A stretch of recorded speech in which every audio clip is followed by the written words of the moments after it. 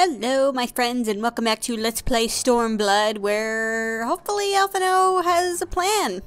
Uh, Doma Castle seems to be up to some naughty business from what our intel tells us.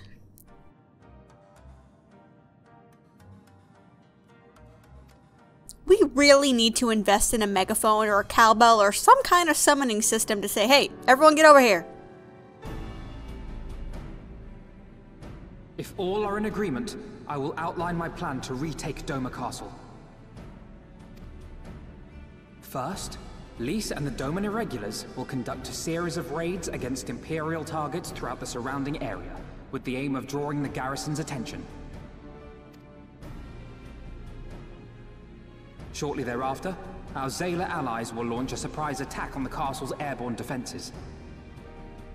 In this way, we will prevent the enemy's airships from rendering support and cut off one means of escape.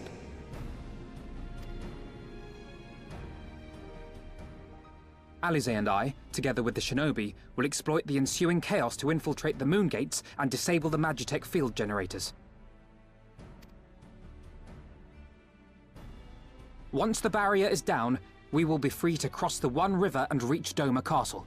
It is at this point that we must turn to our Confederate and Kojin allies. They will commence to bombard the castle with cannon fire, while sailing west towards the Doman Enclave. Wait, the Enclave? Why would you want them to sail away from the castle?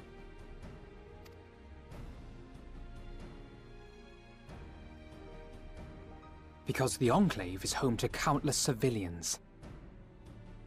Once pressed, the Imperials may well think to take them hostage, and I would fain forestall any such attempt.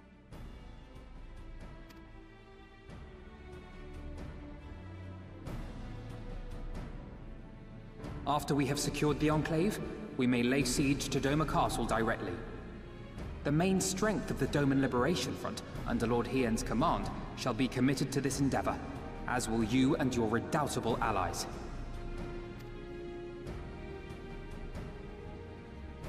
The rest is simple. We scour the castle for the Viceroy, we find her, and we subdue her. Without their leader, what remains of the Imperial's morale will crumble, and they will surrender or attempt to flee. And Doma will be free.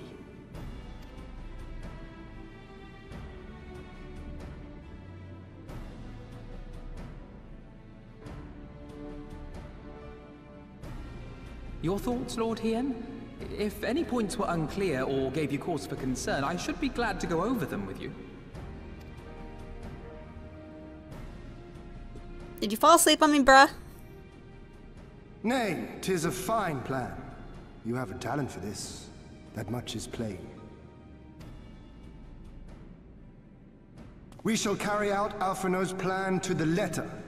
Time is of the essence, as you know, so let us each see to our respective preparations. Carry on. Okay, cool. Now, it's a real shame they don't really mention much of the Enclave before this point. I think it only gets like one minor mention, and that's possibly because we just simply don't have access to this place and that place and i should have mentioned at the beginning of the episode and i didn't because i'm a derp is yeah we can fly in this zone now i've taken care of all that other stuff off screen however we do not have free reign of the map uh, even though some of this is activated because I went over in this area. But this part of the map is completely inaccessible to us simply because of the Magitech gates. And this little part right here, which I always think of like right here and right here is a passageway, but no, it's in between them. These are where the gates lie, and they are preventing us from running freely between the northern and the southern half of the map. Like, we can't even, the only way to get from here to here is to go through the underwater passage, uh, unless you obviously teleport, of course, but barring that, um, like, you can't fly over this area at all. Uh, there, there's just way too much mountainous terrain in, in the way, and it's way above the height of your max flying radius and such. So that'd make travel a bit easier, partially on the grounds that flying is faster than mount travel. I won't have to worry about being stopped because for some reason mounts cannot swim on surface level in this game. And it really kinda kind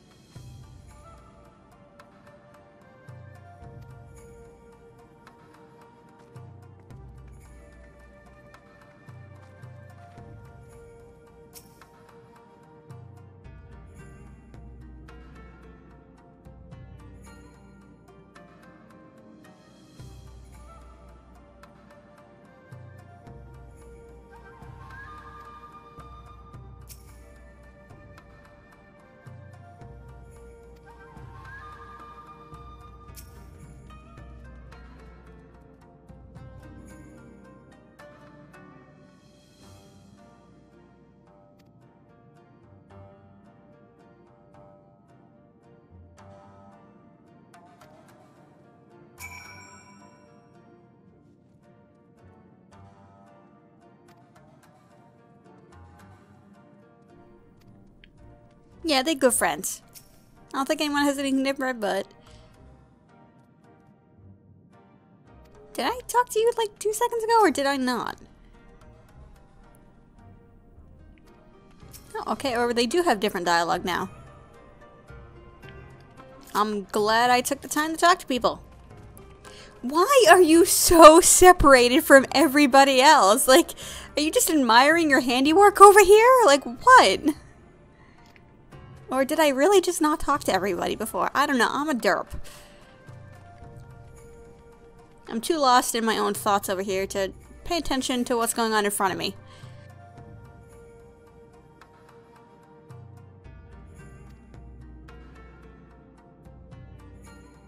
Yeah, how the hell are you gonna do that?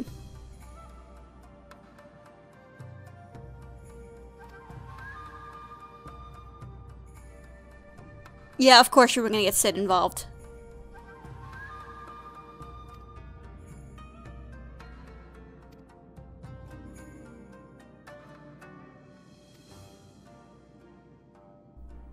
You know, if we're gonna put this plan into motion, maybe you thought should have thought about getting the paperwork before this meeting. Oh, you silly, silly boy.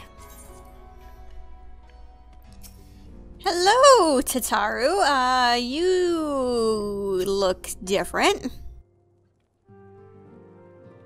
Yeah, it was. We're done now. Did, did not tell you we were back and that I was the one coming to pick up the package?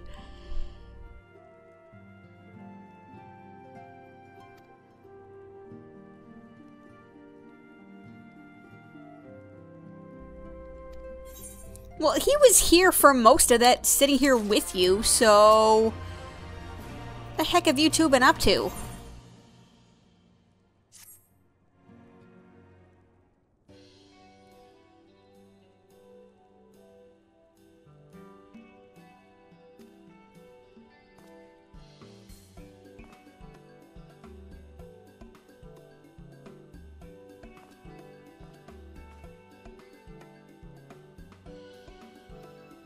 Did I just see that right? Did you put him on a leash?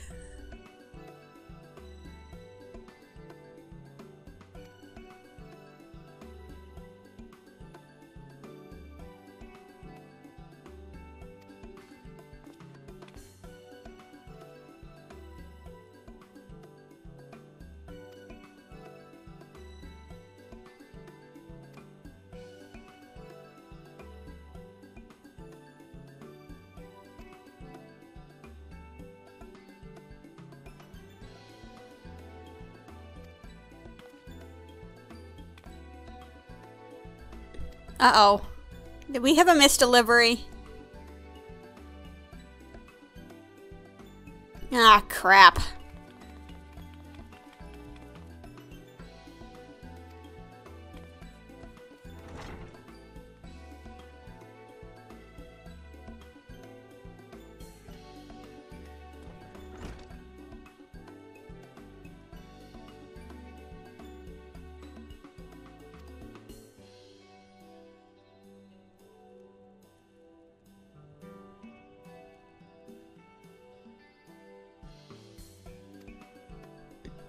Well, at least he's lampshading on that, so that's good. Gotta keep the humor up.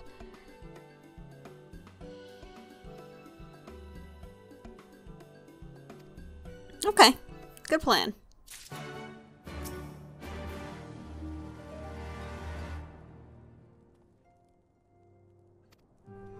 Well, you're blonde for one, so there's that.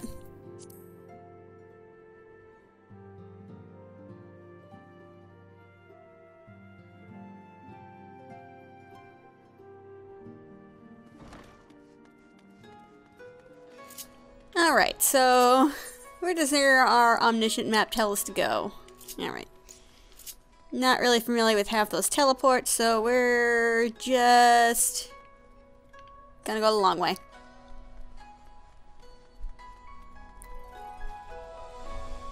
Or actually, no, that's right next to the Aetheryte Plaza, so we can just go there.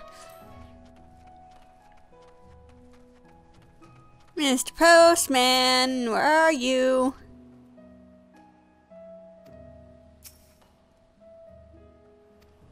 Tataru, be nice.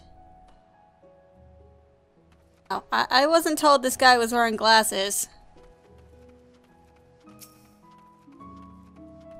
Hi, have you seen a mailman around here?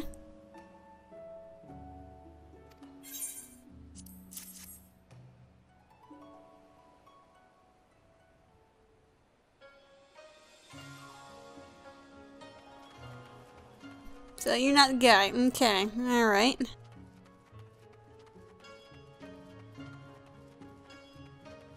If I were a mailman, where would I go?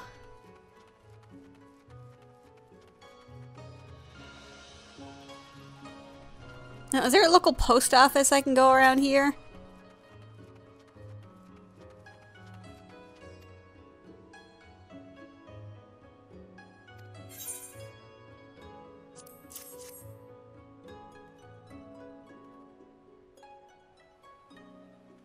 So you're the person I'm looking for. Okay, well, you delivered it to the wrong place.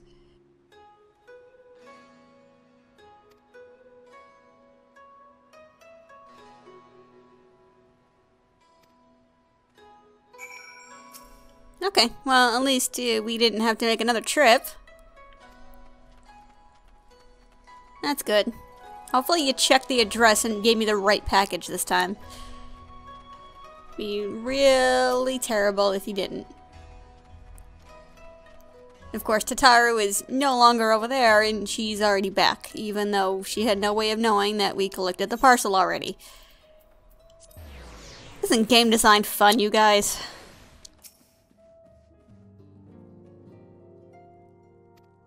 Okay, so she couldn't find him, so that's why she came back.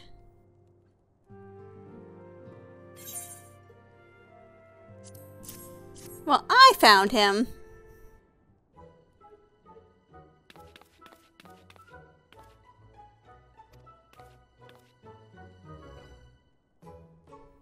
Oh, don't even put that idea in my head.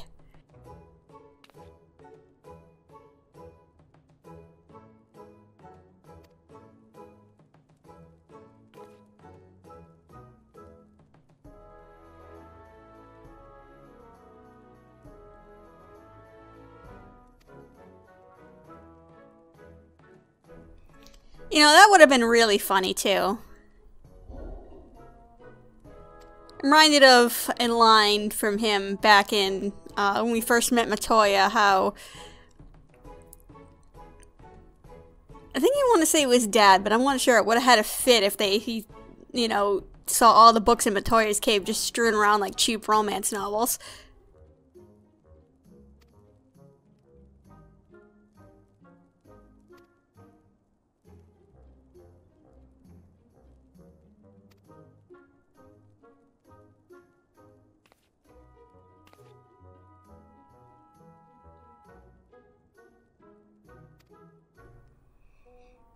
And, and what about Lyse? Okay, can she get a regards too? And by the way, can we have an update on what is going on with like Thancred and Urianger and Y'shtola, who, you know, was kind of mortally wounded when I last left her? Um, can I have some updates on that? Maybe? No? Mm, okay.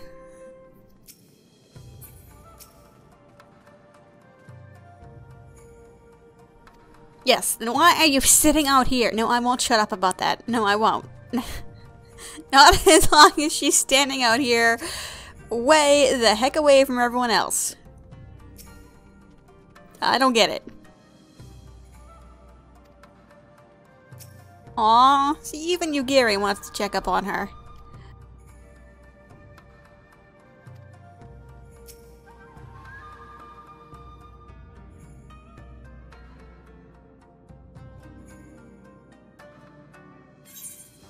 Well, it probably was yesterday. I mean, I have the power of teleporting and whatever. Um, yeah, so it turns out we may not need these documents and we just need to hit it with a hammer, you know.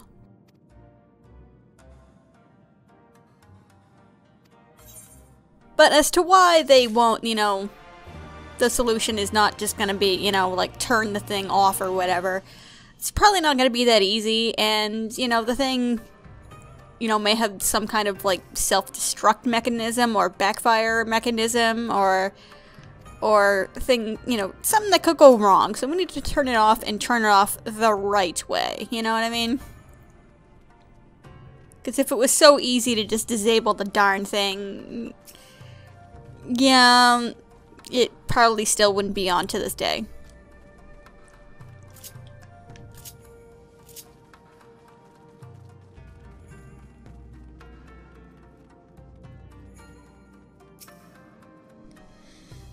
Alright, so how much time do you need to look over this manual?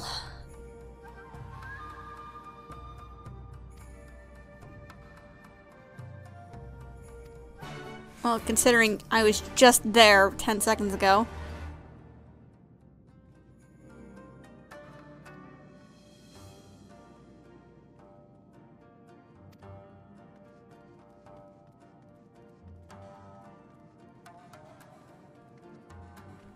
I'm running, I'm running.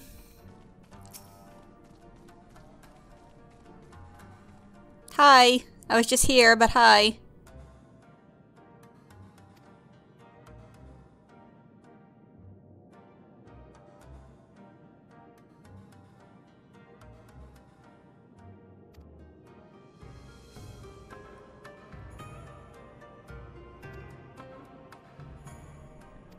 Okay.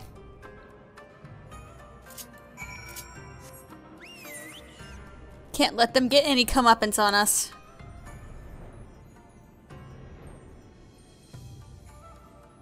Fly.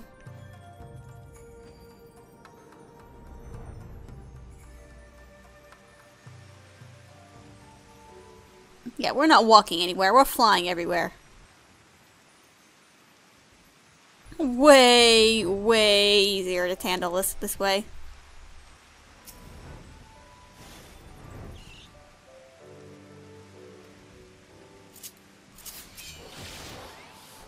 Let's see.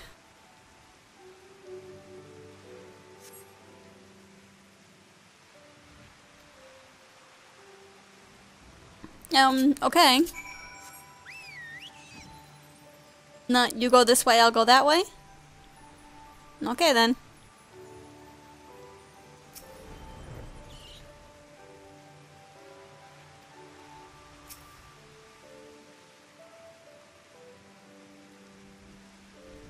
So apparently both I have a map and you have a map now. Um, okay.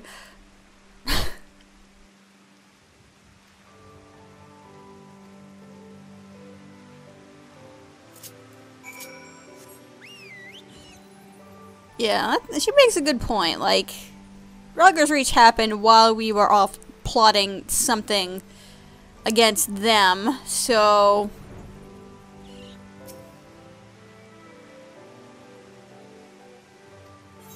Did did did you just kill a 400 pound tiger in like 30 seconds?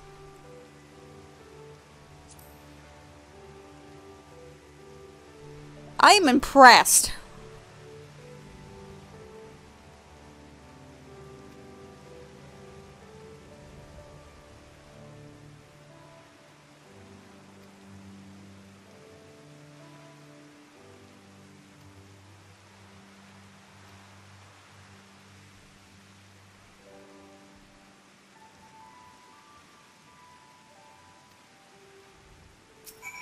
So yeah, the the man she's talking about, and I've neglected to mention this until because I knew this this point was coming. Was yeah, the man she mentioned is in fact the Red Mage job trainer, and he will, if you've actually done the Red Mage job quest, he will mention talk about uh, her to you, and in fact, he knows who you are, um, or at least pretty quickly guesses who you are because she's talked about you to him. So I like that that little tidbit there, and I'm, and I'm glad they, they found a point in the main scenario to actually actively mention it and not put it in side dialogue.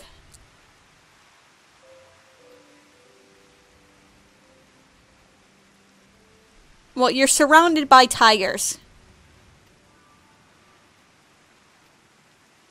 Okay, you're you're really hardly being conspicuous here.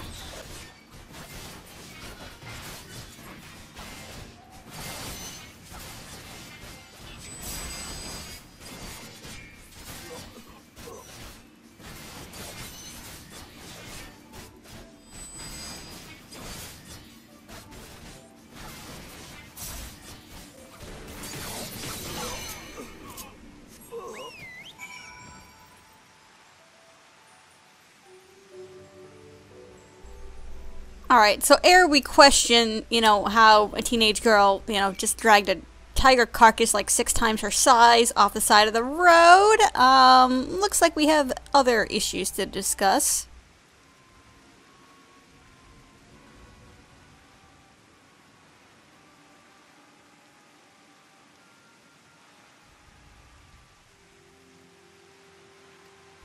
Yeah, ain't no ordinary farmer gonna be carrying around a katana like that. Come on.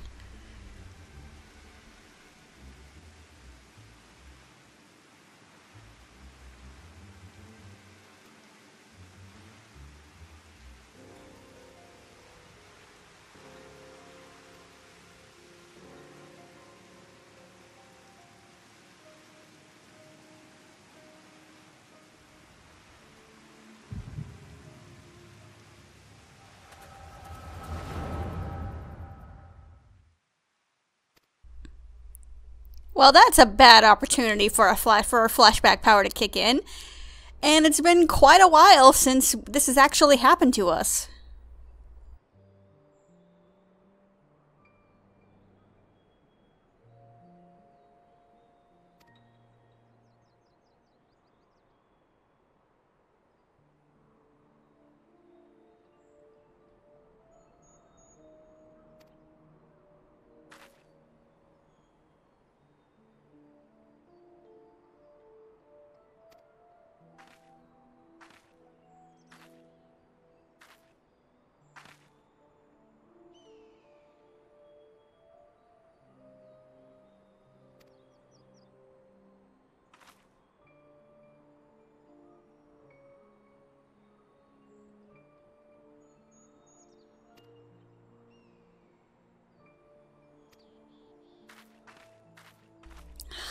Huh.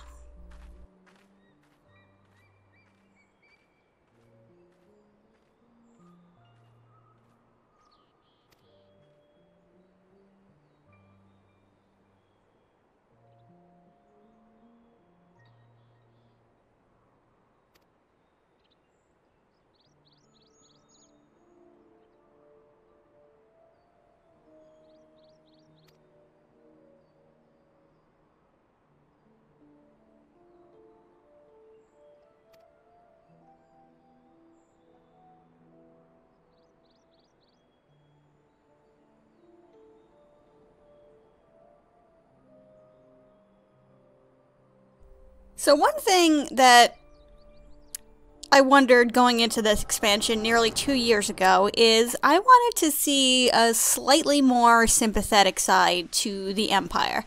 Um, because most of what we've seen so far, yeah, we're, we're, just going to stop this for a second and let me just get through this thought, is is just the military. We haven't really seen the common folk. Um, now with obviously Ala Mhigo and with Doma, we've seen, you know, the citizens of, you know, annexed nations or all that, but they don't obviously consider themselves imperial citizens and whatnot. And I always wondered, like, is there a more positive side to the Empire outside of, you know, its military might and they're they're you know, a lot of the people in the military, because conscripts are not, are just freaking assholes. They really just are. And I get part of my answer there, but even if only in one line of dialogue. If it's one good thing that the Empire has brought is laws for mandatory education. And granted, obviously, the people of the provinces aren't going to get as good of an education as the people who live, you know, back in Garlemald and are actually full fledged born citizens and whatnot. But I am glad to at least see that. Like, does it make up for all their other crimes? Heck no. But at least I can give them that. At the very, very least. And I wish there was more, but I'll take what little I can get. So, yeah.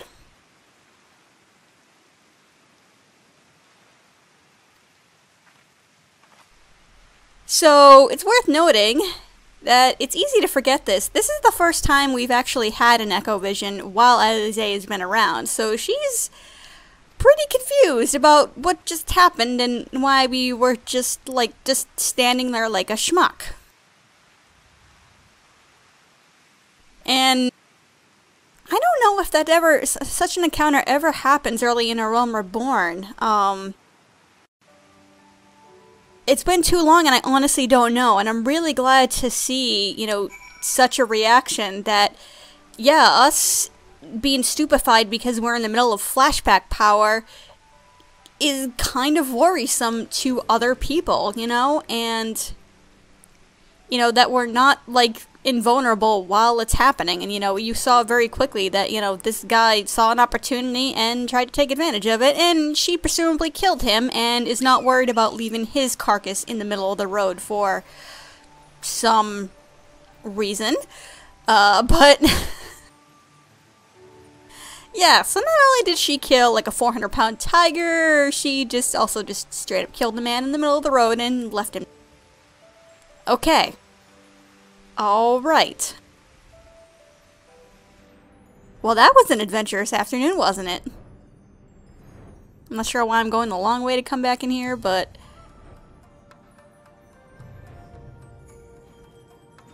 Just want to make sure nobody else has any dialogue before we cut this off.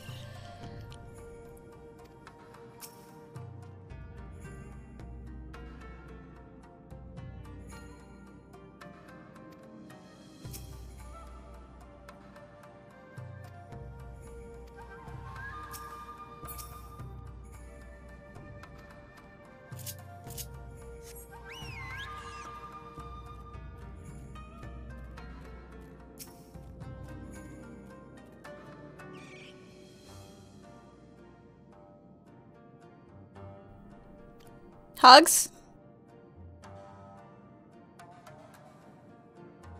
Um, no, no, we didn't dispose of the bodies.